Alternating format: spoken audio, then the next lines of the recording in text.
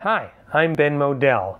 I'm a silent film accompanist and historian, and welcome to Accidentally Preserved. Our next film is The Misfit from 1924, starring Clyde Cook. Uh, this is a Kodascope print uh, that was actually struck in the 1920s. Uh, so, and it's eminently projectable and usable, and it's a nice, sharp old original. Now, this film was re- originally re- released as a two-reeler. All that survives is this uh, one-reel cut-down version, and I think there are a couple of other collector prints out there.